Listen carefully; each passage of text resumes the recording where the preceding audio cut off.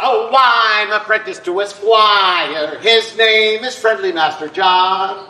A real live laurel and a fool as well, clad in motley with bells on his Japan. He's my middle kingdom daddy, and I'm his good Caiden boy. Me and Cerian were apprentices just to form a choir to sing out in foolish mid-realm joy. Yes, I'm apprenticed to a squire. My grandpa's each your Master Chen. My other daddy is Sir Charles, you know, made KSCA way back when.